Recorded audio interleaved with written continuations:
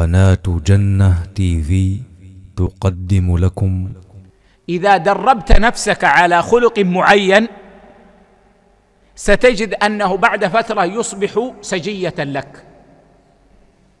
لا يوجد خلق حسن لا تستطيع أن تكتسبه لكن ينبغي أن تستعين بالله عز وجل وتجاهد. يعني بعض الناس يقول أنا غضوب. أنا غضوب أنا هكذا. لا تستطيع أن تمرن نفسك. مرن نفسك على ترك الغضب شيئا فشيئا. ستجد أن الغضب يبدأ يخف في نفسك شيئا فشيئا. فالرفق خلق حسن. تتكلفه في أول الأمر ثم تألفه. تكلفه تكلفه مع أهلك.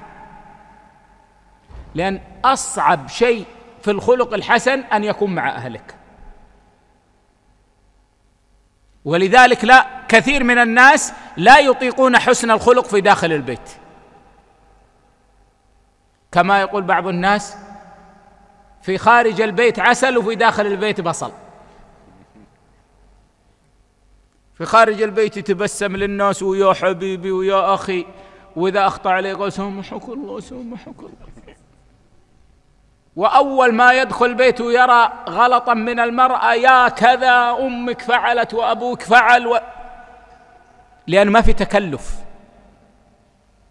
يزول كل شيء في البيت فلا يبقى إلا حسن الخلق فعلا. فمن أحسن مواطن التدريب على حسن الخلق في البيت. لأنك إذا استطعت أن تقيم الخلق الحسن في بيتك ثق يقينا أنك ستقيمه خارج بيتك. ولا عكس بالدربة. إذا كنت متزوجا وعندك زوجة أو أولاد درب نفسك على الرفق بهم. لسانا وفعلا.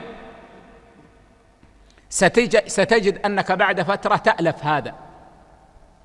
وإذا عرفت هذا الدرب بعد ذلك يصبح الأمر سهلا معك حتى عندما تواجه صعوبة في المواقف.